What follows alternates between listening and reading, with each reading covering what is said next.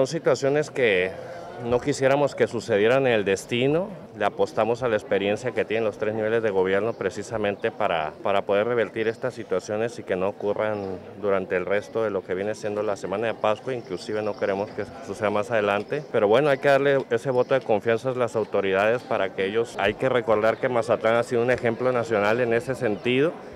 Y bueno, este tipo de hechos que ojalá sean aislados, este, se generen condiciones y la coordinación en los tres niveles de gobierno precisamente para evitar que sucesos como el día de, ayer pues sigan ocurriendo.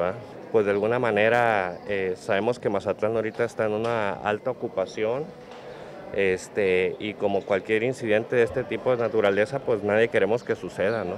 que sea un hecho aislado, que no, que no vaya eh, contraponer los esfuerzos que se hacen de promoción y los eventos que se hacen en Mazatlán precisamente para convocar a las familias y que la gente venga a pasar un buen momento en el destino.